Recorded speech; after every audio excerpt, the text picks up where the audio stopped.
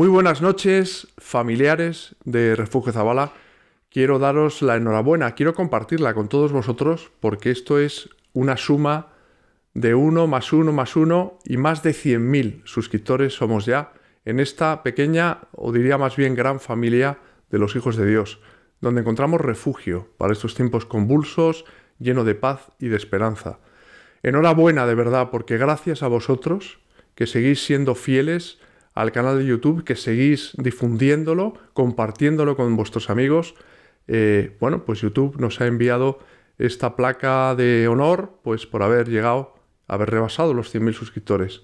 Y esto, insisto, primero se lo debemos a Dios, porque este es un canal encomendado a nuestro Señor Jesucristo, que es el único protagonista, y por supuesto también a la Santísima Virgen y a al Beato Carla Cutis, a San Pío de Petrelchina, estoy mirando a Olga. Olga, ya te saludo. Muy buenas noches. Buenas noches. Bienvenida al plato de Refugio Zabala. Muchas gracias y enhorabuena. Bueno, enhorabuena y a ti también por la parte que te toca, efectivamente, que tú eres una seguidora fiel del canal y además eres una seguidora fiel de Cristo ante todo. Y en particular tienes un santo, porque es un santo, aunque no lo hayan canonizado, pero está en el cielo, que es Carlo Acutis, ¿verdad? Tú eres la comisaria de la exposición de milagros eucarísticos de Carlo Acutis en España y en el mundo. Eh, bueno, en España, en España, sí. Y de Carlo, que es la hermana pequeña. Llevo dos exposiciones y próximamente, si Dios quiere, una más de Carlo, que es descomunal, que ya hoy tenía una, otra reunión con la imprenta para sacarla de las apariciones de la Virgen María en el mundo. Tú fíjate. Qué maravilla. El legado de Carlo es impresionante. Cuenta esto que acabas de decir a todos nuestros eh, familiares de Refugio Zabala Mm. De la Virgen María, porque hay muchísimas personas que no lo saben. Mm. Se han quedado con la exposición de milagros eucarísticas, pero Carlo además... Bueno, las apariciones de la Virgen María en el mundo es todavía más grande que la de los milagros eucarísticos. ¿eh? ¿La hizo Carlo? Sí. Y de hecho póstuma. Tengo entendido que no le dio tiempo a terminar. Eh, son todas apariciones reconocidas. La gente dice, está grabando, está, está Medjugorje. o no, esas no están. claro, a ver, están en fase, ¿no? En, en proceso. Pero es que no solo hizo eso, es que hay otras dos colecciones que yo estoy detrás de ellas también. Una todavía no la he encontrado traducida en español, tengo que hablar con Antonia, con mi jefa, la madre de Carlos. Y, es, que, es que los dos temitas tela. O sea, eh, ángeles y demonios, infierno y purgatorio. Impresionante. O sea, la relación que han tenido muchos ángeles que han, han tenido la presencia real de, de, o sea, muchos santos, perdón, que han tenido la presencia real de ángeles y también de demonios. O sea, tú fíjate si este tema es importante hoy en día, que, que la gente dice que no existen los demonios. Con tanto demonio que anda suelto por ahí, ¿no? Digo, pues ponles cara, vas a ver cómo si salen. Pero fíjate, Olga, mm. además un, un chaval de, de, 15 años que, que, empezó a hacer esto con 10, 11, 12 años. 11. 11 años. Con los milagros eucarísticos. Yo cada vez hago más mía la frase de Carlo, el tiempo desperdiciado no le gusta a Dios. Y Muero sereno porque sé que no desprecio ni un minuto de mi vida en cosas que desagradan a Dios. Yo ahí, cuando tengo sobre todo muchas personas que a lo mejor están muy ociosas, yo es que como no veo ni la tele porque no la soporto, pues... ¿Y por qué no tienes tiempo? exactamente. Eh, digo, si es que nos des cuenta. Dice, cada minuto que pasa, dice Carlos, es un minuto menos que tenemos para santificarnos. Mm, no hay tiempo. Yo el poco tiempo que tengo, la gente dice, ah, tomamos un café. Digo, créeme que no soy dueña de mi vida. O sea, eh, a mí me llevan para acá, para allá con la exposición, me llevan ellos y, el tiempo que, queda, obviamente, es mi familia. Eh, amistades, ayer saqué un ratito para una amiga con un café, hoy saqué un ratito para estar con vosotros, pero no tengo donde reclinar la cabeza, es textual, o sea, es así. Yo podía vender mi casa y, vender, y vivir en el coche y en el ascensor, pues me un día subiendo y bajando. Y no sé, es, esta es mi vida. Bueno, Olga, eh, nuestros familiares te conocerán porque tú apareces en la película El cielo no puede esperar, das tu testimonio de cómo te transformó la vida, te cambió la vida Carlo Acutis y además, bueno, pues como encargada de la exposición de milagros eucarísticos. Nos explicas qué es un milagro eucarístico y todo, te ha recorrido España entera. Estamos en ello, sí. Yo, bueno, estoy de celebración yo también, lo tengo que decir, porque para mí el 29 de mayo de hace cinco años, a mí me cambió la vida es cuando conocí pues a Carlo. Eh, en, aquel, en aquella pequeña foto en la exposición que estaba en Toledo, la primera vez que llegó a España en la internacional, de los milagros eucarísticos y, yo no sé quién es ese chico ahí en mitad de toda esa exposición. El caso es que ha hecho cinco años de aquel encuentro. Y justo el día 30, al día siguiente, es cuando yo dije que sí al Señor. Y se lo dije a Carlos, digo, pídeme lo que quieras. Además que sí se lo dije a Carlos, digo, pídeme lo que quieras. Han pasado cinco años, José María. Yo, el otro día, eh, me parecía increíble, estaba en la sede de, de Almendralejo, Badajoz, donde está montada la exposición, la edición 22, en cuatro años. Y, y, ese año, entre medias de, ya os decía, cuatro años con la exposición, pues fue la, ir gestionando este, este proyecto, ¿no? O sea, he estado llevando en estos cuatro años Expocarlo, que es esa hermana pequeña de aquella tan enorme internacional, pero es que actualmente, a raíz de la película, me ha llegado también otro encargo de parte de Italia, que es que gestione en España la, la grande también. Entonces, bueno, pues... ¿Esto cómo lo haces tú? Porque estás sola, ¿no? Cada bueno, vez... no estás sola. Sí, eh, Ya, eh, bueno, nos pero entendemos. sí. sí, sí. Cada vez que leo San Pablo, más me identifico con él. En todo. Siempre ha sido un santo para mí muy. No sé, yo me siento muchas veces con ese látigo en la mano, ¿no? es un látigo. Y él viaja y sí, tiene a, Tito, Timoteo, en fin, pero viaja solo. Yo, cuando la gente me dice, bueno, tendrás un equipo, a ver si llego a una sede y tengo hermanos allí. Y el Señor pone cirineos, está clarísimo, y, pero gente que te abre las puertas. Yo estaba en domingo comiendo en casa de una familia. Digo, ahora entiendo lo que sentía Jesús cuando iba a Betania. Es increíble cómo el Señor te, te, te, te llena y te consuela y te arropa tanto desgaste, ¿no? Llegas a casa de unos hermanos y te sientes como si, o sea, dices, esto no, o sea, esto dónde han venido, o sea, si no me conocen de nada. Y te dan la llave de su casa, ¿eh? Te dice, toma, aquí puedes descansar, vente a comer, ahora ya no hables nada, tú ahora descansa. O sea, hermanos que dices, es el Señor que va cuidándome así, ¿no? otro día tuviste una exposición y estuviste 10 horas seguidas sin comer, ¿no? No es la única vez. Pero tengo reservas, así que no hay problema, ¿no? Pero sí, o sea, empecé con un grupo a las 10. Mm, Es que esta, lo de la exposición ya no, no me gusta llamarle visitas guiadas, porque da la sensación Sí, con eso... como que es turístico. Sí, y que, y que soy yo la que va explicando. Eh, nada más lejos. O sea, lo que ocurre allí es un auténtico. Una señora lo llamó viaje espiritual. Digo, pues sí. De hecho, yo siempre voy cargada con la mochila, como Carlos, ¿no? Entonces, digo, ¿veis? Me voy, además voy de rojo, ven como él, ¿no? Una colegiala, eh, sí, o sea, yo voy con la mochila y la gente dice, pero mujer, de- descansa, quítate la mochila. Y voy todo el rato cargada. Digo, hombre, entre otras cosas llevo la reliquia. Pero aparte de eso es que es... Por cierto, llevo la Sí. reliquia. A ver, explícanos que nos has traído Está- al plato de Refugio Zabala la reliquia de Carlo. Aquí ¿Qué es, Pues es el lienzo reconocimiento. Sí, aquí no sé si se El puede lienzo ver. reconocimiento. ¿Qué es esto? Lienzo de reconocimiento. Yo lo explico así que es, viene con su certificado oficial y todo. Me lo entregó la familia. Luego la, la- la veréis ahora, la Sí. estaréis viendo mientras estamos hablando de ella en primer plano, ¿eh? con detalle. Sí. Es un trocito de tela que parece así. Cuando te acercas Le a doy una un beso por todos vosotros, familiares.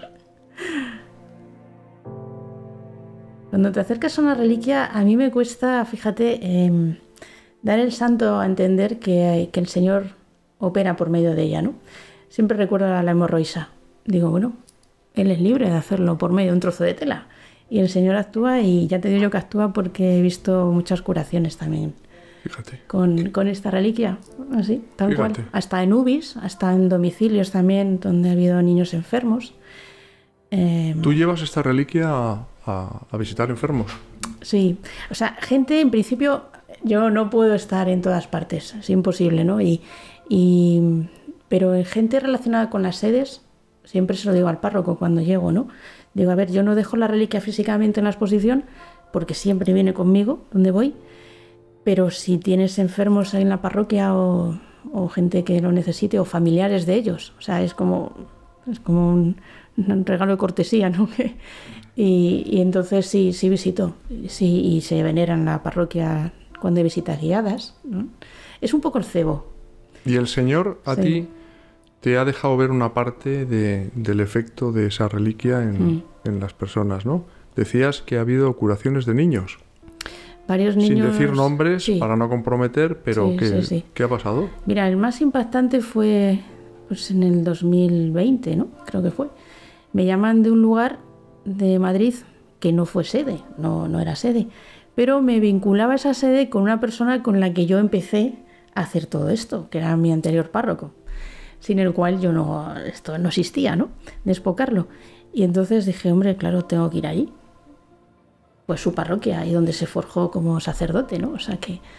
Y aparecí allí aquel día con... Habían estado rezando la novena a Carlo, porque había un montón de niños muy enfermos, pero de distintas patologías tremendas, ¿eh? Y me decían las organizadoras, dice, te hemos presentado aquí, Olga, como un pequeño Lourdes. Y realmente llegué allí y en aquella capilla pues vi niños con unos cuadros tremendos. Empezamos a rezar el rosario, estaba la reliquia esta encima del altar y justo detrás tenía el sagrario. Y yo me fui con mis cuatro hijas y empezamos a rezar el rosario y en el segundo misterio de pronto estaba ya así, levanto la cabeza pero sin... Y de pronto tuve una vivencia que no olvidaré en la vida porque salió como del sagrario una fuerza, como, como una luz enorme, enorme, pero fugaz. Y atravesó justo la reliquia, o sea, estaba el sagrario detrás de ella, atravesó la reliquia y se fue hacia adelante. Yo me quedé así, digo, ¿qué ha pasado? O sea, Como una de luz que se proyectó. Sí, pero con una fuerza. Y atravesó la reliquia y siguió. Sí. O sea, salió del sagrario, atravesó la reliquia. Claro. Y entonces en primera fila había bueno, estaban todos los niños alrededor con sus familiares, ¿no? Y yo estaba en un lateral con mis hijas y tuve la, total seguridad de que alguno, uno se había curado. Dije, no sé quién será, pero hay uno que se ha curado. O sea, lo supe. El caso es que yo esto guardé silencio, claro, ¿cómo vas a decir esto así? Ahora lo estoy diciendo aquí alegremente, pero que digo, la gente me toma por loca, ¿no? Eh, yo guardé silencio. La gente no. Bueno, los que estamos en esto sabemos que el Señor hay veces que hace ese tipo de manifestaciones, ¿no? Yo guardé silencio y esa noche recibo una llamada de la madre de uno de ellos. Dice, hola, ¿te acuerdas de este niño que tal? Digo, sí. Además, él estaba enfrente del altar. Y digo, sí, sí, sí me acuerdo. Dice, Olga, es que te doy las gracias porque yo no pude ir físicamente esa tarde. Fue mi marido y fue mi suegra. El niño estaba fatal, casi no pude ir ese día. De hecho, casi estuvimos a punto de cancelarlo porque casi había que llevarle en brazos. ¿Qué le pasaba? Pues, pues, ¿qué es lo que no le pasaba? O sea, este niño, con una edad de Carlos, además, 15 años, estaba fatal. 15 años tenía también. Sí, tenía todo tipo de, problemas. De hecho, llevaba años sentado, eh, no dormía tumbado, no podía dormir, dormía sentado. Y ese día estaba especialmente mal. Fíjate también cómo los demonios actúan, ¿no? Especialmente mal estaba. Tanto es que a punto de cancelar esa, ese rosario allí. Y aún así le llevaron, pero estaba súper de... Yo le vi una carita. Bueno, pues me dice la madre esto, ¿no? Dice, te quiero dar las gracias, dice, por, por esto y porque, dice, mira, mi hijo llegó a casa distinto. Ya solo me dijo eso. Me empezó a dar datos así, dice, yo te quiero conocer, Olga. Yo, claro, a mí esto me supera, pero si yo no he hecho nada, yo no he hecho nada. No, solo el hecho de que tú te desplazaras aquí, que, digo, pero es que, que a mí lo que manda gratis yo lo doy gratis, o sea, yo, yo aquí no hago nada, ¿no? Pero la mujer súper emocionada porque había notado un cambio muy grande en su hijo. Bueno, pues nos reunimos al cabo de poquitos días y, y me empieza a contar, o sea, el cambio tan tremendo que su hijo había tenido. Tanto es que no podía comer de nada este niño, porque todo era intolerante a todo, a medicamentos, a todo, y pide a su madre un plato de espinacas para cenar. Claro, la madre dice, pero ¿cómo sabes si que te mueres si te comes esto? Se lo comió. Y, así, entonces iba sumando cantidad de, de pruebas la madre, que claro, dice, Olga, es que no sé qué ha pasado, yo la estoy escuchando y yo me callaba. Digo, madre mía, digo, es él, es él. Claro, lo que yo percibí, digo, es él el, el que se ha curado. Bueno, este seguimiento lo hacen los médicos. El niño ha tenido un cambio tremendo, tremendo. Y los médicos se encuentran, hacen las pruebas, las cotejan, dicen, pero no, repiten pruebas como diciendo aquí algo hay un fallo en laboratorio. Claro, ellos exploran al niño y están viendo que ha cogido peso, que se ha curado, que está comiendo de todo, que necesita un antibiótico y se lo pudieron poner. Y claro, y, se quedan los médicos mirando a la, mujer, a la madre y le dice, oye, ¿tú crees en los milagros? Dice ella, ya te digo. los médicos le dijeron a la madre. Se lo dijo a la madre. Dice ya te digo. Dice, es que no tiene explicación. Pero es que más increíble todavía. hay un problema que tiene el genético y en un, en un análisis eso estaba resuelto. Un problema genético que no tiene cura. Sea, situaciones, claro, y esta mujer es que o sea, nos hemos hecho hermanas, o sea, porque es que o sea, me quiere un montón y digo, pero si yo no he hecho nada, no he hecho nada, nada más que, eh, pues nada, llevarle, llevarle, a- y ya está, ¿no? Y, pero tremendo, o sea, Eso es una, es una maravilla, la verdad. eh, la labor que tú estás desempeñando con la exposición, llevando la reliquia de Carlo a, a las personas necesitadas, porque luego, a pesar de todo el esfuerzo, porque claro, eso supone una fatiga, un cansancio humano terrible, sin embargo, tienes ese consuelo, ¿verdad? Divino, que experimentas y que te, que te encuentras dándole gracias a Dios. cada segundo. Cada María, segundo, Cada efectivamente. segundo. Porque me decía ayer otra persona, oye, para ir a para ir a la exposición, o sea, ¿cuánto es el grupo mínimo? ¿no? Decía, digo, basta con que vengas tú. Claro, eh, el montaje de la exposición lleva 30 horas, pero créeme que con que solo 30 horas. 30 horas de montar, si es que Todos lleva iluminación, y todo, iluminación, cableado, audiovisuales, siete horas desmontar y cargar al coche, o sea, es tamaño, ¿no? Y de verdad, aunque solo fuera para una sola persona, lo haría igual. Mira, eso es que estoy totalmente de acuerdo contigo. Nosotros sabes que hemos dado, Olga, muchas charlas sobre el Padre Pío por toda España, ¿no? Eh, más de 500. Y, y había lugares eh, donde iba muchísima gente, pero había otros lugares donde iba muy poca gente. Entonces, las personas que habían organizado esas charlas las veías como con caras a- de apuradas, ¿no? Como diciendo que van a pensar, pues si han venido desde Madrid a lo mejor a, a Badajoz a, dar una charla y Sí. con una sola alma, con una sola persona, a la que Cristo pueda tocar el corazón, pueda tocar el corazón a través de nosotros, bendito sea Dios. Ha, valido la pena. Es así. Mm, Y, te voy a decir más. He tenido, por ejemplo, grupos que recuerdo en unos lugares de las, una de las sedes que hubo 80 personas. Mm, si funcionara por número diría, qué éxito. Bueno, de esos ni uno continuó. Es decir, estuvieron un ratito, echaron un vistacito y se tenían que ir porque tenían que tomar lo que fuera. Dije, busco fidelidad, no busco efectos especiales. O sea, y con que haya una sola persona. Eso me ha pasado muchas veces, ¿eh? De hacer visita guiada a una sola persona. Y, y- y sientes apuro que dices tú, ¿no? Oye, pero para mí solo digo, pues claro. o sea, un solo alma cuesta una gota de sangre de Cristo, ¿sabes? Y, yo eso no lo puedo, no, no puedo decir que no. O sea, yo cada vez tengo más, más interiorizado lo de tengo sed de Santa Teresa Calcuta y de mm, voy así porque veo que tengo poco tiempo. O sea, voy a, a- a la... Esa sensación de premura de tiempo Sí. la tenemos nosotros también. Como si tuviéramos que hacer muchas cosas, Sí. ayudar a muchas personas, abrir su corazón a Cristo. Y luego ya dirás, bueno, ya dormiré, ya comeré, si es que acaso puedo, ¿no? O sea, eh, los pones por delante. No, no, es que no puedo funcionar de otra manera. Si fuera por mí, mm, me diría éxitos y fracasos. Es que no me paro a hacer eso. O sea, yo sigo. Mm, Claro, muchas veces, claro, eres humana. Y digo, oye, el otro día yo hablaba con el Señor y decía, tú eres consciente que a mí no me das alas, ni el don de mi locación, que tengo 53 tacos ya, o sea, que, que a nivel físico tengo mis limitaciones. Digo, pero, Cualquiera lo diría. pero, pero, se lo dije así, digo, pero pídeme lo que quieras. O sea, sí sé que lo haces tú. O sea, es imposible que esto lo aguante nadie, Es que es clave lo que acabas de decir. sin ninguna El- duda. sin mí no podéis hacer nada, Mm. pero conmigo lo podéis hacer todo. Y lo más lo bueno que tiene, yo ahora estoy repitiendo mi consagración al Sagrado Corazón. Eh, si Dios quiere, pues ahora, justo en el día de- del Sagrado Corazón, eh, leo los 33 días, ¿no? Voy otra vez meditándolos y decía, pero si es que lo cumpliste todo lo que me decías aquel 2020, ¿no? Cuando me consagré, en plena pandemia. Y, decía, si es que no has fallado ni una sola de tus promesas. De ahí sale la fuerza. O sea, cuando te consagras, lo que estás haciendo a Él es decir, mira, te dejo mi vida, eh, te dejo...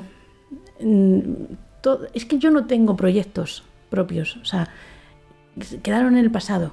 Esas cosas que quieres hacer siempre, quieres... No tengo tiempo para eso. Mm, Yo voy lanzada, pero porque él me lleva lanzada. O sea, lo hace él. Claro, te consagras a él y te consagras al Inmaculado Corazón de María y dices, pues yo ya, lo que me pidáis, o sea, no puedo decir que no. Mm, No puedo hacerlo. Es que no puedo hacerlo. No, no sale ni siquiera de mí.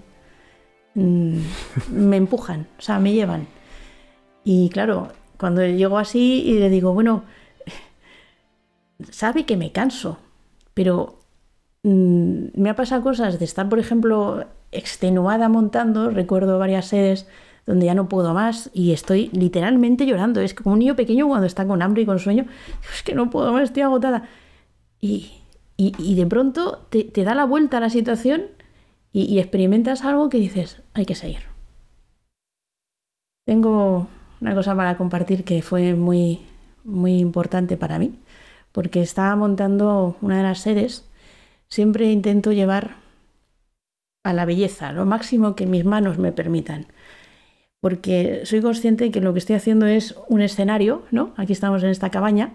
Es un escenario en el que va a ocurrir algo. Y yo soy una espectadora. Y un día estaba montando las lámparas, los cables, todo esto. Y, y tuve la sensación de ser pues esa persona que en un hotel prepara la habitación y pone las flores y, incluso una caja de bombones, depende del hotel, en la copita y tal. Y yo dije, yo estoy preparando una alcoba donde va a tener un encuentro del Señor con esa alma. Y, esto tiene que ser hermoso, tiene que ser bonito. Eh, porque es que yo veo esos encuentros. Hay veces que sientes pudor, porque es como dices, bueno, estoy pisando terreno sagrado, ¿no? Y dices, qué hermosura.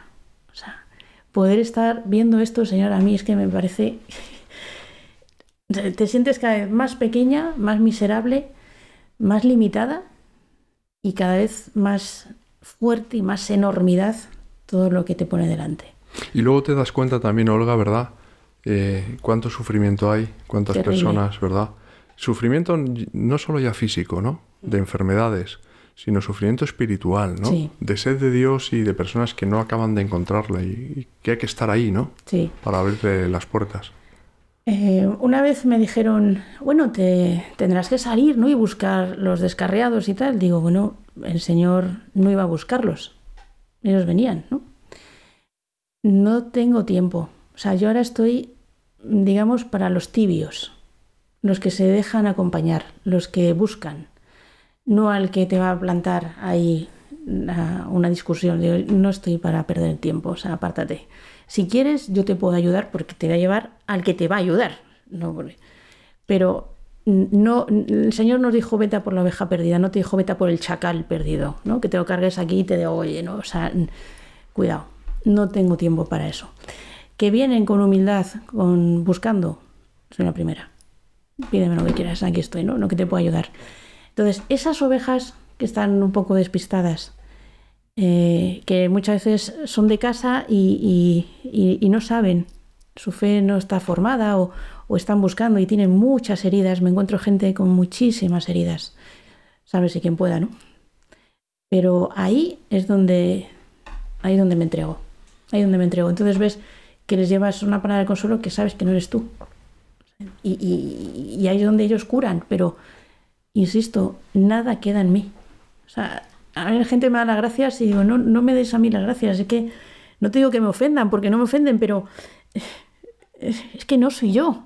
Es que no soy yo. Lo que tú has percibido no soy yo. O sea, ¿cómo te puedo decir algo que a ti te ha conmovido si no te conozco? Entiende que no soy yo la que hace eso. Entonces yo auto- automáticamente, me lo digo así, digo, bueno, gracias, se lo paso a asuntos internos, ¿no? El mensaje. Eh, lo hacen ellos.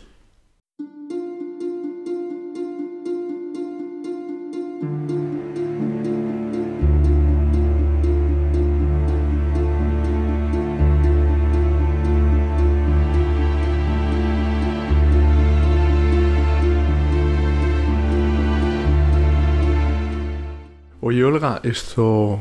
¿Qué tal Faustina? Mi amiga Faustina. Doña Faustina. Está una bendita alma. Es una, una moza... Pues eh, una moza de 84 años que está casi, va a hacerlo ya, el día 5. Aprovecho a felicitarla cuando salga el programa, porque mm, es, es una mujer... Mira, hoy la he visto después de muchos años, providencialmente. Digo, Faustina, mm, digo, ¿te acuerdas lo que vivimos juntas en el 2020, el día de la beatificación de Carlos? Y dice, anda, pásate, hija, pásate. Estado en su casita. Y digo, refrescame lo que vivimos ahí aquel día. Hoy, hace unas Hoy, horas. o sea, unas horitas. Y yo tenía todo en mi corazón guardado, pero bueno, quería, digo, no quiero faltar a la verdad, refrescame todo lo que tú me contaste, digo, porque hoy tengo que contarlo, y es algo, pues, es muy, muy importante. No, ya sé, amigos, eh, familiares del refugio, que estáis eh, sin perder detalle ¿no? de esta conversación, pero prestar especial atención a lo que va a contar ahora Olga, porque es algo que absolutamente inédito en, en la historia de Carlo Acutis.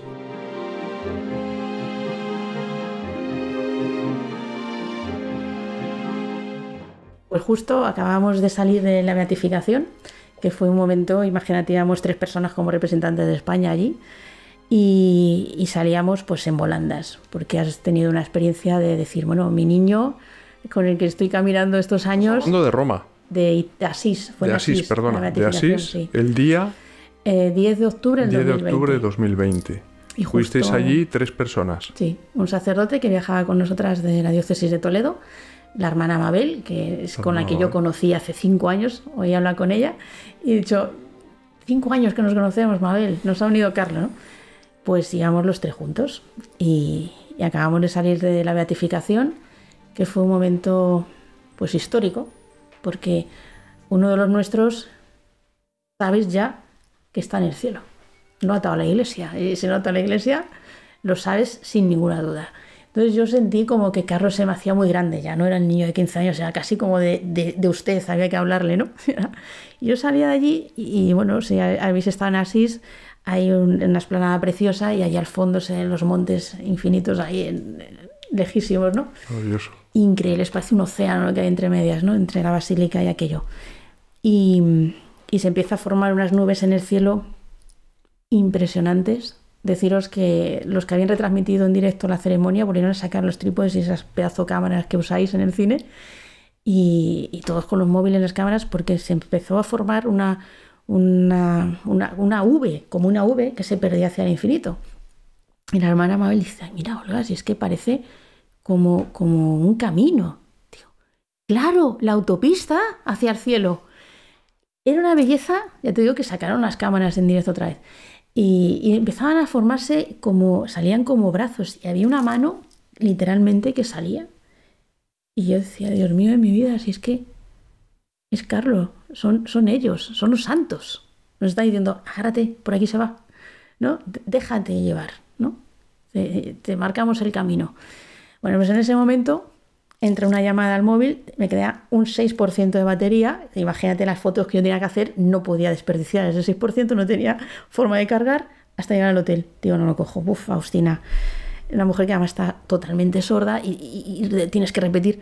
Digo, no puede ser. Digo, no, bueno, no. Cógelo. Oigo en mi interior, coge el teléfono, que no, que queda un 6%, cógelo. Vale, lo cojo. Faustina, perdóname, no te puedo atender ahora. Te llamo del hotel. Olga, Olga. Faustina, que no puedo. Olga, hija, que estoy viendo. Digo, ya está, esta está viendo la ceremonia de la beatificación. Hija, que ese chico, ese chico. Digo, sí, Carlo, Carlo. Dice, dice, ¿pero qué ha pasado? Que es que se ha muerto, hija.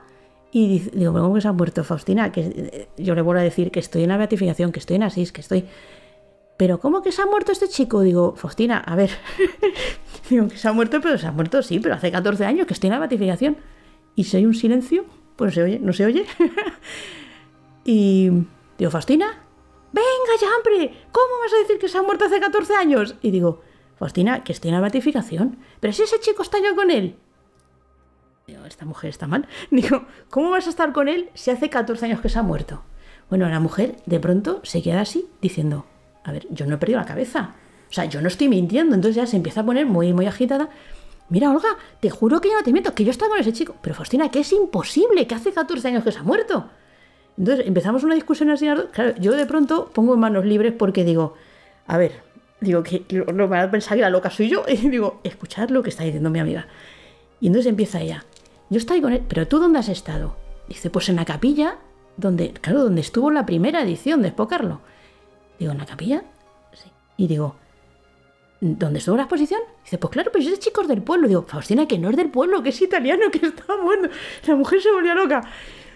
Digo, pero espera, espera, espera. Yo sé quién es Faustina.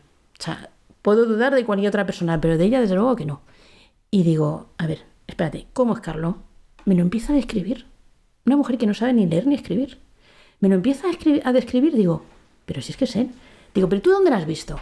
Pues hija, ¿tú sabes dónde me siento yo? cuando todavía podía caminar un poquito, ahora ya, luego la estuve llevando yo, ahora ya ni, eso puede. Dice, yo me siento, ¿te acuerdas tú? En la primera fila, enfrente del sagrario, sí. Y Carlos, digo, y, dice, pues él, igual que yo, pero al otro lado del pasillo, digo, la madre, enfrente de la Virgen. Digo, si es que ya me da pistas, ¿no? Digo, pero a ver, ¿cómo es él? Digo, ¿estás ha confundido con alguien del pueblo? Seguro. Dice, pues mira, pero si es el. Es que la, la mujer decía, es ese de la foto, el de la camiseta roja. Claro, ella vio el, telón cuando cae. Y entonces dice, si ese chico le conozco yo. Bueno, mm, estaba mm, totalmente preocupada de que yo la tomara por loca. Yo, a ver, yo sé que tú no me mientes. A ver, dime más cosas. Dice Olga, siempre que iba estaba allí. Digo, ¿pero cuándo? Esta mujer es de las que se pasaban, pues, eh, el jueves, por ejemplo, cuatro horas delante del sagrario. Siempre. Eh, de las que se reza todo. O sea, es una persona entregada a la oración. Porque como no puede hacer otra cosa y está impedida, pues toda su vida es oración. Y dice, pero me da la pista fundamental. Dice, él siempre estaba con los jóvenes. Digo, ¿pero cuándo? Dice, pues los viernes, Olga. Claro, los viernes hacían unas catequesis y estaban los jóvenes allí, luego hacían hora santa y cantaban y todo. Digo, ¿pero él dónde estaba? Dice, pues sentado con ellos.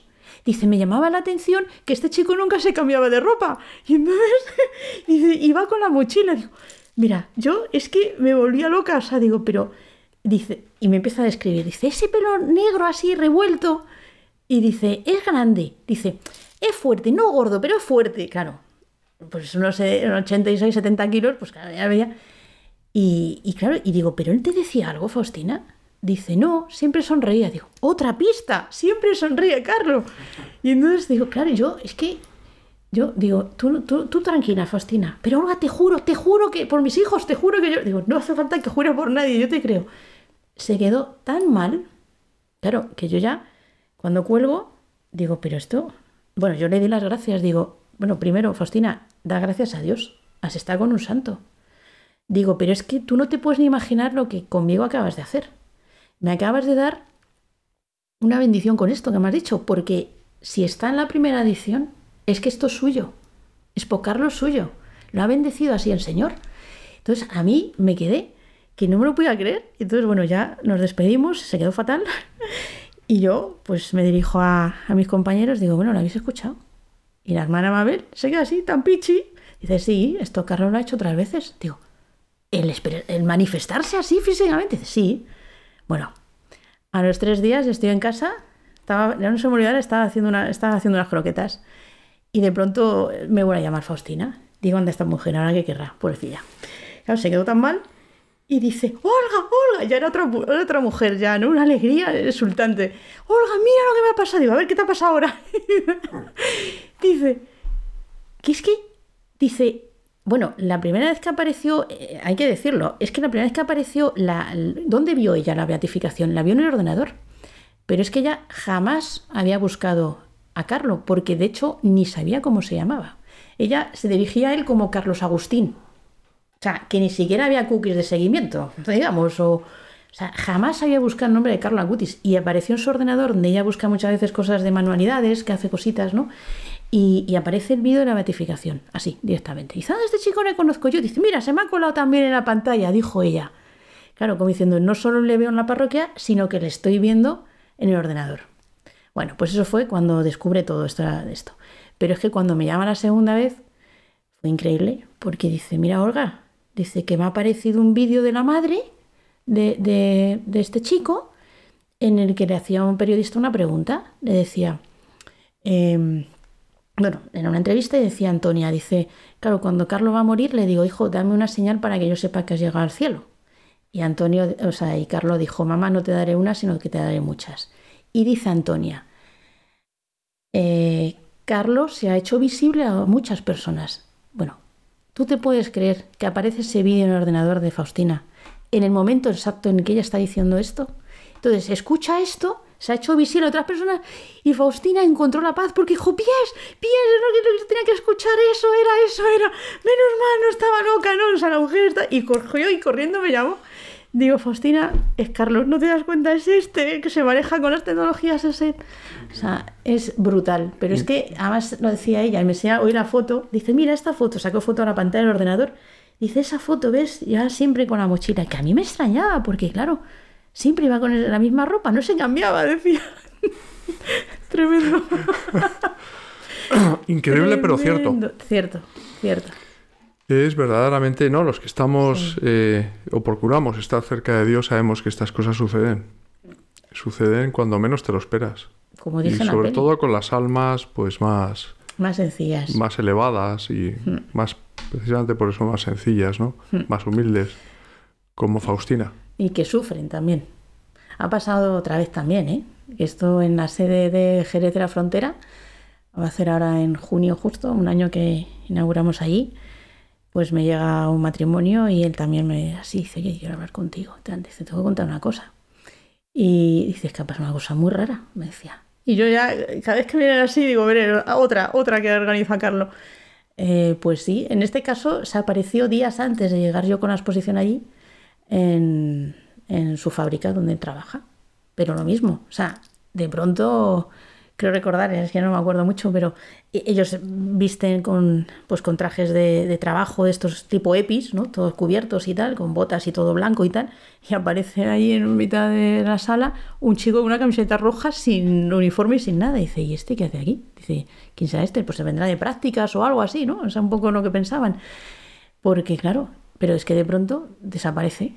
O sea, claro, yo me quedé así, hablé con él, le dije, oye, ¿en aquel lugar ha pasado algo? Pensé, ¿alguna muerte así? Es lo que me- vino un poco así, ¿no? Mm, ¿Algún accidente, alguna cosa? Digo, porque si se aparece Carlos, él está muy relacionado con las almas del purgatorio, ¿eh? Dije lo mismo, una manifestación por algo, porque me acordé de su abuelo, cuando Claro. se le apareció. Y, y entonces este, este hombre, si algo me medio contó ahí un poco, dije, pues nada. Y dice, claro, y cuando de pronto dices, este chico yo le conozco. Claro, cuando ve la foto dice, pero ese es el chico que estuvo allí. Carlos muy juguetón. No para, es un zascandil. Está haciendo mucho bien, además, a través de su película. Mm. También, Del cielo no puedo esperar, porque es impresionante. A ti te ha llegado mucho eco, ¿no? Bueno, yo eh, lo que te dije el otro día, voy a coger a Carlos y a ti os voy a matar a los dos. Digo, porque a mí, o sea, eh, no sé, exponencialmente ha, ha surgido la- las peticiones. Ahora mismo, solo de Spocarlo puedo tener más de 40 solicitudes. Fíjate. Fíjate. Pues espérate a que se estrene el latido del cielo. Sí, he pensado cambiarme de planeta. Creo que ya el salto lo daremos a no sé si a Marte o Júpiter, porque ya, hemos, ya estamos en otro lado del charco, ¿eh? Es que esto es muy fuerte. Es que a raíz de la película y de una entrevista también que hicieron hace prensa, ¿no? Llegó y, y empezó a recibir mensajes de todo México. Bueno, la lista es tremenda. O sea, desde California un párroco pidiendo la exposición. Eh, México, seis o siete peticiones en México. Panamá, Guatemala, Honduras, Bolivia. Pues espérate a que Mira, a miedo que- me dais. ¿eh? después de esta entrevista que estamos teniendo ahora. Amén. Porque todos estos países eh, son seguidores nuestros. Madre mía. Hay muchísimos suscriptores que están en estos países. Y en otros que todavía no te han llegado peticiones, pero te llegarán. Eh, ¿Sabes? Tendrás que pensar en algo. Sí, mira, ya estamos en ello. Ah, Eh, empe- empezamos por Tierra Nacional. Canarias ya está, hay un equipo ya trabajando allí. Eh, van a hacer pues como un desdoble de Spocarlo, claro, yo no puedo coger el barco y meterme, también lo han pedido en Baleares. Digo, mira, pues funcionamos de forma que se haga un, un proyecto allí para las islas, ¿no? Y entre vosotros os repartir la exposición. Entonces ya tengo ahí un equipo fantástico, de mi amigo Fernando que está ahí liderándolo a tope. Y, y, claro, al otro lado del charco me proponían lo siguiente. Claro, México desparramó. O sea, México, vamos, México ha sido tremendo la México, que cantidad. es 20 veces España Claro, en extensión. ¿no? Y en fe, Bueno, y en fe, sobre Arden. todo en O sea, fe, yo sí. es que me, me siento, además, cuando llegó, mm, los primeros que llamaron fue en México, dije, me siento tan unida a vosotros, gracias al milagro eucarístico de está, por Guadalupe. cierto, la Virgen de Guadalupe. Eh, ¿Sabes? que además le tenía mucha devoción Carlos también y que está en esa exposición Eso es, ¿verdad? de los paneles más de las apariciones claro Sí. marianas que Sí. bueno yo te voy a decir una cosa yo quedé alucinado cuando estuve con eh, Antonia Salazar en Asís me regaló dos libros que había escrito su hijo Carlos uno el de los milagros eucarísticos y otro el de las apariciones marianas Ese. y es todavía más voluminoso el de las apariciones marianas. Tremendo. Son 600 o 700 páginas. Yo me quedé alucinado. Digo, Sí. ¿cómo esto puede hacerlo un chaval Sí. con 13, con 14 o 15 años? Y te voy a decir, esos paneles Y ahí aparte... estaba Guadalupe. Eso es. Guadalupe. Yo, a mi Guadalupe me han mandado totalmente con México. O sea, es que además que se llamen los dos, esto lo explico yo en las visitas guiadas, que los dos milagros eucarísticos, tanto el, el nuestro español, de Cáceres, diócesis de Toledo, Mm. como el de Guadalupe, eh, tengan el mismo nombre, no son casualidades. Entonces, esta historia la cuento allí. Ahora me pasa en Almendralejo, además en el montaje ha sido una cosa muy bonita, porque sin estar previsto, está justo montado en una ala de la nave el, eh, un Guadalupe y enfrente el otro. Entonces, claro, digo, ¿os dais cuenta? Esto es así. O sea, son dos naciones, México y España, que en la fe son importantísimas. O sea, de siempre. Y, y claro, por eso ahora está siendo tan atacada. ¿eh? Escuché hace como dos o tres semanas que querían destruir la tilma. Digo, inténtalo, Fíjate. inténtalo. La llaman la, la- la indestructible. Las tierras de María por excelencia, como Claro. México España, así son. Y que son focos de irradiación de la fe. Claro. Y entonces, claro, pues ahí a, a por ello. digo, Son muy bueno, atacadas. Claro. Bueno, pero ¿qué vas a hacer en México entonces? Mira, lo de México me proponían, dice, señora, usted se tiene que venir aquí, usted nos forma, nos dice cómo hace usted las cosas, qué material necesitamos. Nosotros le sacamos un billete de avión y le sacamos el hotel y todo. Digo, a ver, mm, si quiere ver a la Guadalupana, yo voy. Digo, pero no un billete, sácame dos porque yo tengo que regresar. Entonces, claro, ahí me dejan allí. Eh, mm, yo no puedo decir que no, porque es que además Carlo vivía rodeado de inmigrantes. O sea, él conoce esta realidad y, y son hermanos nuestros.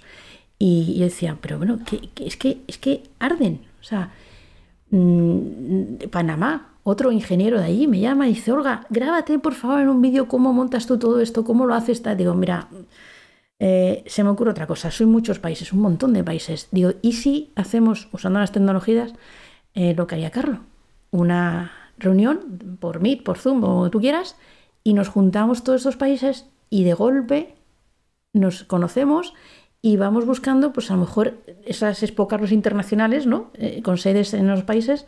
Y si no tenéis dinero para producir todo el material, pues yo qué sé, os juntáis dos o tres países y luego lo vais pasando unos por otros ahí, ¿no? Eh, está previsto en las próximas dos semanas o antes poder hacer esa reunión. Pero es que hay un desfase horario de hasta nueve horas, porque Argentina Claro, también está. claro. Eh, Perú, Bolivia, Colombia, o sea, Panamá. Es que son unas franjas horarias enormes las, dif- las diferencias, ¿no? Claro. Dios dirá, yo esto me lo dices que suena al despertador ahora y me lo creo. O sea, yo no creo que esto sea real. O sea, es imposible, es, es como una enormidad. Eso tiene que ver con lo que decías tú, Olga. Que, es decir, eh, hay una, hay una, como una sensación de premura de tiempo Sí, en el que hay que, estás como metido en la vorágine y que no puedes parar. Porque arriba no quieren que pares. no. Y hay que salvar almas, que era la gran obsesión del Padre Pío y de Carlo Acutis también. Total. Y ahí estamos, todos arrimando el hombro, trabajando juntos, cada uno en lo que Dios quiere, pero por esa imperiosa necesidad que hay de acercar eh, a las personas a Dios. Mm. Así que yo creo que eh, el Señor te iluminará a través de Carlo para que puedas eh, llegar allí, porque yo creo que es importante que Sí. en México, que en Argentina, que en Panamá, que en Canadá, eh, que en Francia, no hay que irse tan lejos tampoco, África. o que en Alemania. África también hay un proyecto África. de hacerlo ahí. Ah, sí, fíjate. A través de una monja que es misionera, dice, Olga, tienes que llevar de expocarlo allí. Y digo, yo, ya lo que me faltaba. O sea, odio el calor. Yo soy, ¿A toda- qué, a estoy qué- a cruda, o parte sea, de yo África? machicharro. ¿Algún país en concreto? Eh, Camerún. En Camerún. Mm. Y Mozambique también estaba por ahí, podía ser. Digo, pero es que claro, a ver, en español allí no se maneja, digo, habrá que traducir, pues se traduce, pues, o sea, y yo, digo, bueno, si tú hablas eh, francés o no sé qué, porque eran varios países los que me pidieron, había de lengua, lengua también francesa, digo, pues tú hablas en francés, yo te hablo en español, tú traduces, digo, y lo único que se me ocurre, digo, pero es que me paro a pensarlo, no, no me, o sea... hace cinco años vivía de otra manera, ¿sabes? Que, esto de pronto aparece en mi vida así y digo, pero qué velocidad, qué, se me ha ido de las manos, es la sensación que tengo, ¿no? Yo empecé en aquella edición con Faustina allí, con 41 paneles y, y digo, ¿y esto dónde está ahora? Mm, te sobrecoge. ¿Cómo un instrumento tan sencillo puede estar produciendo tantos frutos? Ah, pues como es el Señor. Una cosa tan sencilla. Bueno, ya, yo creo que está cerca la canonización, ¿no? De Carlos. Yo intuyo que no tardando mucho. A, ver, yo me había puesto. Cuando estábamos ahí en Asís, dije a Mabel, digo, me da a mí que en dos años la canonización. No han sido dos años, pensé sino en el 22. Pero yo ahí sí que me echo las manos a la cabeza. Porque si siendo beato está haciendo esto, espérate a ser santo. O sea, no sé si, viviré para contarlo, pero tengo la sensación de que no va a tardar mucho, porque además es que el Papa Francisco lo menciona constantemente sin mencionar su nombre. Y yo, claro, yo a eso me di cuenta. Digo, ah, lo tiene sobre la mesa, tiene el asunto sobre la mesa, lo tengo clarísimo. Bueno, están estudiando varios milagros, ¿no? De hecho. Mm, mm. Mm. Yo, además es que lo dijo él, no es que yo tenga la sensación. Dijo, seré beatificado muy pronto y muy poco después canonizado dejó a su madre. Entonces, es, la sensación Esto no lo saben muchas personas que nos están escuchando ahora, ¿eh? ¿Mm? Que Carlo le dijo a su madre que sería beatificado y canonizado. Sí, beatificado y muy poco después canonizado. Muy poco después, muy poco. Y de ser beatificado muy pronto y muy poco después, o sea, que es muy pronto, así ha sido, ¿no? En 2020. Claro. Y muy poco después, o sea, yo entiendo que ese poco después es menos que el muy pronto. ¿Sabes? No son menos años. Sobre todo porque ya te digo que el Papa Francisco ya le he pillado varias veces hablando de, él sin mencionar su nombre. Dije, no tiene, lo tiene aquí, lo tiene en la mesa, está trabajando con ello, está ahí. tenemos ya a la vuelta de la esquina la JMJ. Sí, patrono, patrono, patrono. JMJ. Por eso pensé, dije, a lo mejor espera al Santo Padre a octubre. Porque claro, no puede hacerlo ahora que ya, pues imagínate todos los fungibles con el nombre Beato Carlos pues sería una faena, ¿no? Em, intuyo que a lo mejor en octubre, aprovechando el día suyo, Día de la Virgen del Pilar, que coincide, así es, el 12 de octubre, eh, a lo mejor podría decirlo. Es la sensación que yo tengo, ¿eh? porque esto va cañado. O sea, a una velocidad todo, que además es que es fundamental. José María, Carlos nos lleva a hablar de ya no solo la santidad, y no solo a los jóvenes, que a mí esto siempre lo aclaro. no es el santo de a los, jóvenes. pero también a todos. Como dijo nuestro amigo José Luis, eh, que es uno de los también eh, José Luis que sale en la película Esté vivo. José Luis. Pues fue gracias a la exposición. El enfermo de, COVID, ¿no? que estuvo, pues eso, casi 20 días en coma. Más. O más de 20 días en coma en la UCI, ¿no? Mm. Y vivió para contarlo gracias a la intercesión de Carlos Acut. Claro, y esas mojitas. Y lo cuentan, el cielo no puede esperar. Claro, esas mojitas que rezaban por él, esas estampas las cogieron de la sede número 2 de Espocarlo. Fíjate.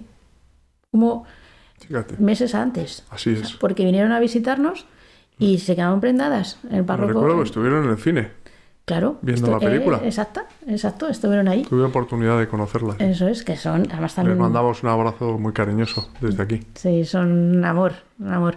Pues ellas y, y otro más de allí también, con también se salvó de un cáncer, bueno, dos.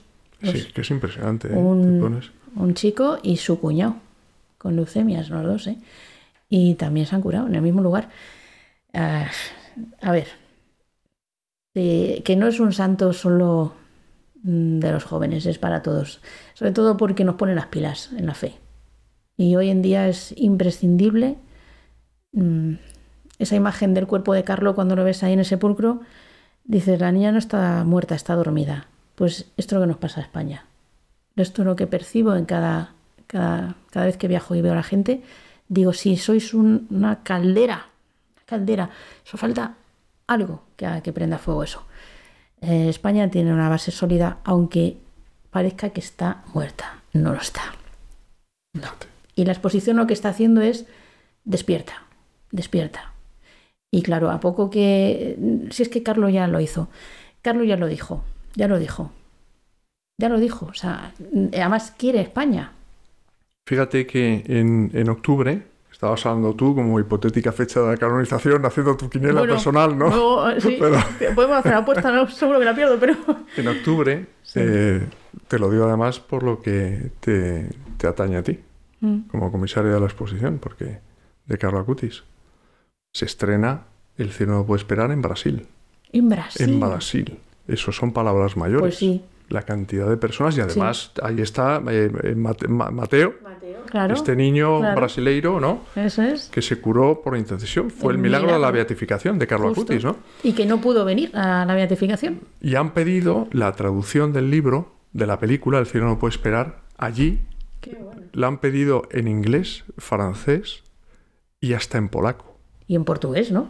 Porque ellos hablan una especie de portugués ahí. Sí, brasileiro. Sí, brasileiro. Pues tú fíjate ahí, la exposición va detrás. Pues me voy a Marte Porque a vivir. tú además apareces en el libro y aparece también la exposición. Mm. Entonces, eh, eso todavía le va a dar mucho más bombo al tema y te van a llegar más peticiones. Por eso te digo que te tienes que ir haciendo un buen equipo, porque claro, tú estás ahora mismo sola. Mm. Ante el peligro, bueno, sola no, insistimos que sola no. No. Pero ya nos entendemos. Sí, pero ¿sabes qué pasa? Este, esto, esto es una misión. Esto no es un trabajo. Entonces, eh, si no te llama el Señor a ello, no lo vas a poder hacer. O sea, es así. O sea, esto es una misión, un encargo y te dice, quiero que hagas esto. Pues ya está, lo haces. Yo no puedo hacer lo que tú haces, ni tú puedes hacer lo que yo hago. Entonces, a ti te ha preparado para lo que tienes que hacer y a mí me prepara para esto. Ahora, que se encuentra otra zumbada por el mundo como yo, ya encontró a Carlos, bueno, pues yo digo, si solo se te ocurre a ti pedirme esto, Carlos, porque tú y yo estamos los dos igual, ¿no? ¿Qué, relación cuando hace cinco años, ya te digo, empiezo a leer esa biografía primera que no existía en español, solo en italiano, la tradujo la hermana Mabel en español y la empecé a leer y dije, no, es que es como si fuera yo en chico. O sea, cantidad de cosas teníamos en común ya. Bueno, y era, para ti era como ese hijo que tú no has tenido, varón. También. Porque tienes cuatro hijas. Cuatro hijas. Adolescentes en ese momento eran igual, ¿no? De las mismas edades. Y claro, yo dije, este niño que no me ha llegado, este es el niño. Esto despierta celos en mis hijas. Tu hijo. tengo que tener cuidado. El niño este, tranquila, que nos va a salvar a todos, tú no te preocupes. Digo, sí, eh, tú tranquila. Pues la verdad es que Olga eres una testigo privilegiada de toda la acción de Dios a través de Carlo Acutis y de esta exposición que tú estás llevando a tantos lugares, ¿no? Con tanto esfuerzo y con tanto fruto porque a mayor esfuerzo, mayor es el fruto. Y mayor cruz. Y mayor cruz. No te olvides. Que aquí me ves mucho reír. Pero hay mucha cruz detrás, ¿eh? Claro, lo sé. Que sí, lo sabes. Y esto a la gente te dice, wow, es que yo llego a ver bueno, no es para escucharlo, ¿no? Es que Olga trabaja mucho porque, porque gana mucho dinero con esto. pero eso y yo dije, dinero, si pongo dinero para venir a trabajar, si es que yo me, yo me tengo que pagar todo. Eso, eso es buena señal, Olga. Claro. Eso es buena señal. Yo me río. Cuando hay calumnias y hay, injurias, mm. todo eso es buena señal porque significa que el otro, el enemigo, está rabioso. Porque el Señor está haciendo a través de ti mucho bien. Sin duda, eh, es la señal. Y cuanto más golpean esa sede... Mira, el otro día, el otro día, perdona que me he acordado ahora y que te interrumpa.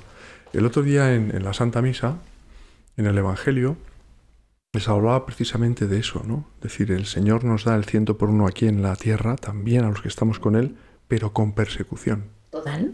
Pero si ya lo, la lectura del otro día, quien por mí deja casa. eso es. Claro, Y, pero te habla de la cruz. Con persecución, exacto. Así, literal. Claro. Entonces, a mí ya me pasa una cosa, cuanto peor lo paso yo días previos al montaje, ya sé que esa sede va a desparramar de bendiciones. Y entonces todo el mundo, ay Olga, y todo el mundo, ay, muchísimas gracias, hija mía. Es que, la cosa más hermosa que escucho de la gente es, mm, gracias a, lo que ayer vivimos aquí, date cuenta, las visitas guiadas no son visitas guiadas, son ejercicios espirituales. Cuatro horas, cinco horas. O diez. O seis, sí, como el otro día, claro, fueron dos turnos, ¿no? Doce. Em, dice, gracias a esto, Olga, yo ahora voy a misa y ya vivo en la misa de otra manera. Dije, bendito sea Dios. O sea, mm, la gente ha entendido lo que es la misa, porque ha entendido quién es el que está en el altar. Así es, así es.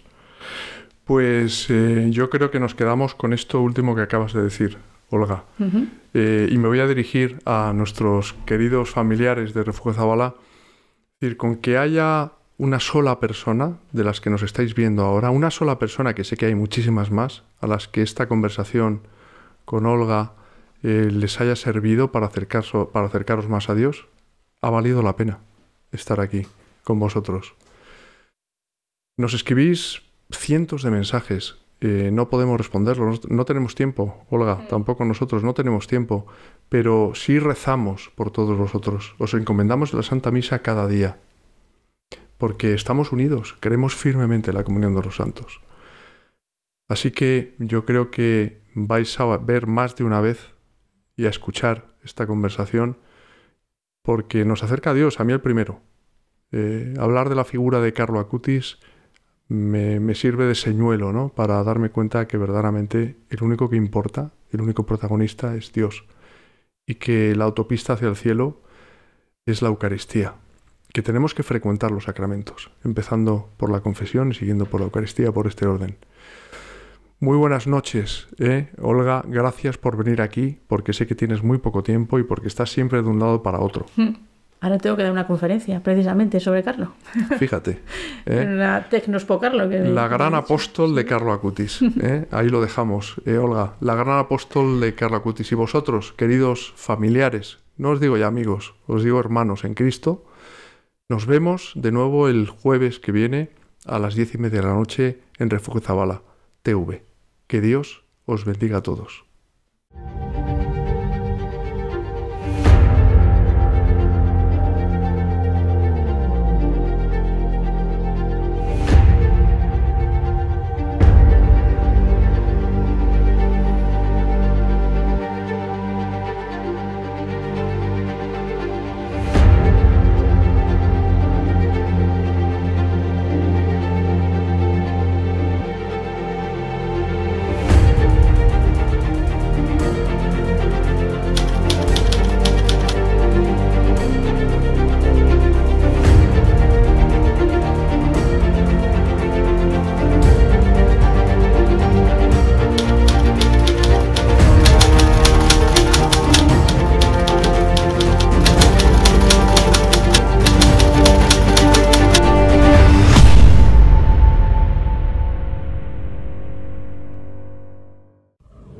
Suscríbete gratis a este canal y activa ya la campanita para disfrutar de todo el contenido de Refugio Zabala.